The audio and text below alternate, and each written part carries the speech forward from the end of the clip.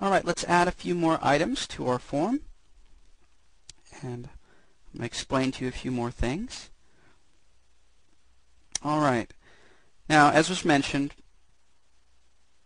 if you're clicked on the element itself, like our checkboxes here, the ID here does not necessarily correspond to what text the user is going to see. So the ID is simply for um, our benefit, the creator. So we can make the ID whatever we want or simply modify the text here as we mentioned um, directly.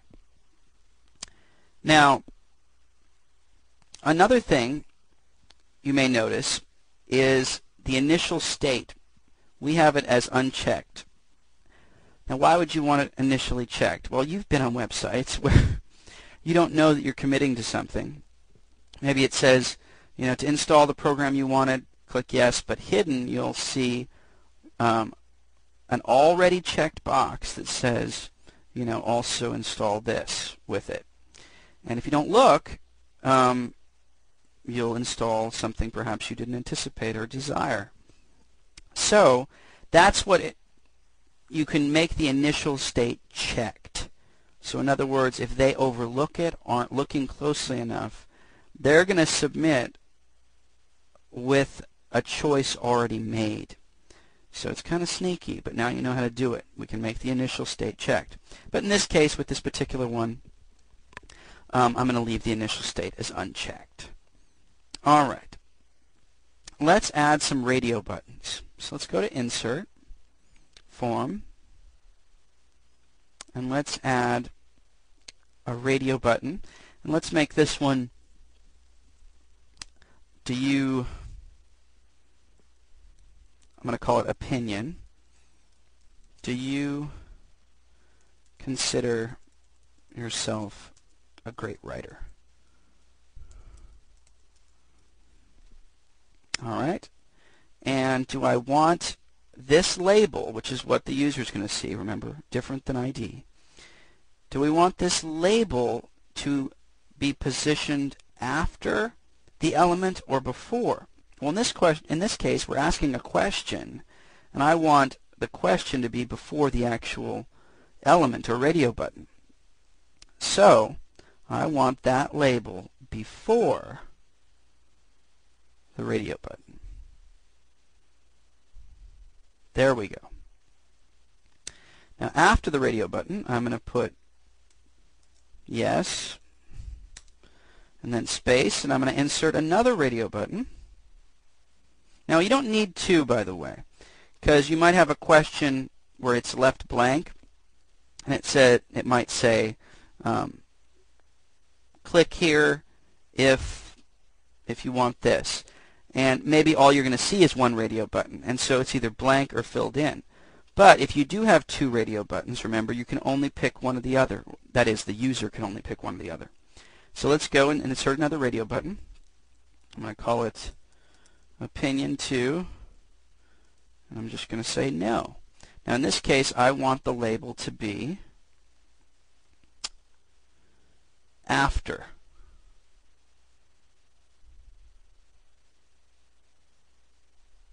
So let's hit OK, like so.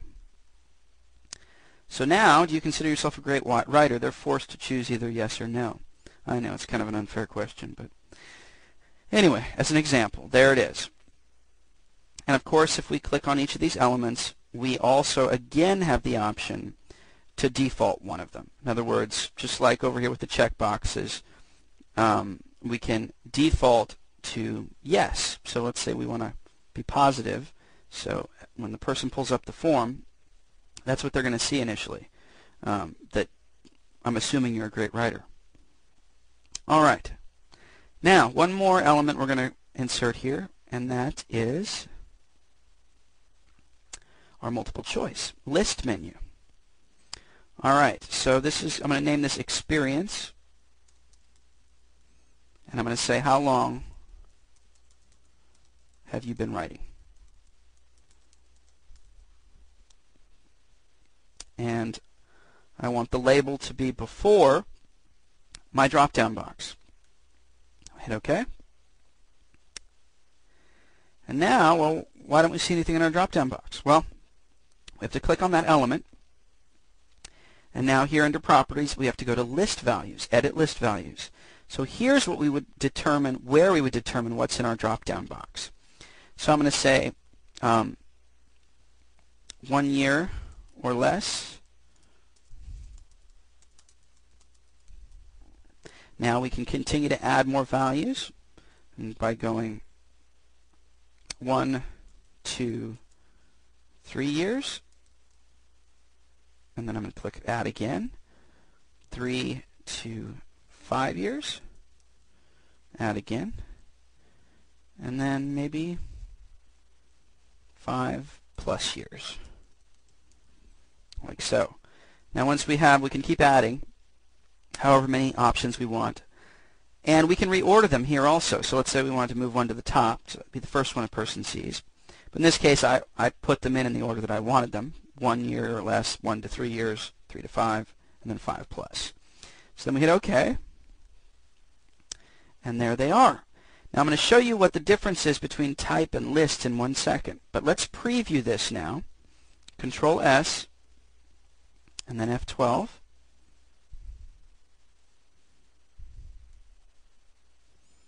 Now, of course, we have our checkboxes, right? Um, this is defaulted to the yes, but I could choose no. Remember, it has to, it picks one or the other, so forcing you in between. And now, how long have you been writing? Now we have our, our drop-downs that we created. You've seen these on sites, super common. All right, now let's change the option on this to instead of menu type, we want list type. So let's make sure this is still selected, that element. But now we're going to choose list, and when we choose list, this becomes ungrayed out. So height, basically, how many do you want to display of that list? Well, we entered 4 in there. So I'm going to go 4, and then tab, and now you see it expands it out. So it doesn't force the user to have to click and drop down in order to see their choices. In other words, they're all displayed, or however many of them you wanted displayed, um, you determine here with height. So now let's hit Control S to save, F12, preview, and now we see they're all displayed there. And we could choose one, but it is forcing you to pick one or the other. You can only pick one from the list. But you do have the option of changing that again. If we go back in here and we check this box, allow multiple, now, a lot of times you see this on sites, maybe job search sites, where you may be selecting multiple things. Like it says, you know, what cities do you want to look for jobs in? And you might have like five. Well, all right, let's hit Control S, F12 to preview. And now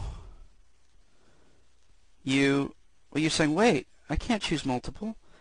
That's because you're not holding Control down as you click. So or shift or control well Control All doesn't work but um, shift and holding down control as you click allows you to pick multiple. So like I said sometimes on job sites or, or other sites you know you can choose multiple and then search. In this case how long have you been writing? It doesn't make sense that a person's going to pick more than one. So and I also don't like the this list look for this particular form, so I'm going to go back to menu. I'm going to uncheck that, and I'm going to just go back to menu. I could have just gone back to menu, but I unchecked it first. All right, so there we go. There's a few more elements we've added to our form page.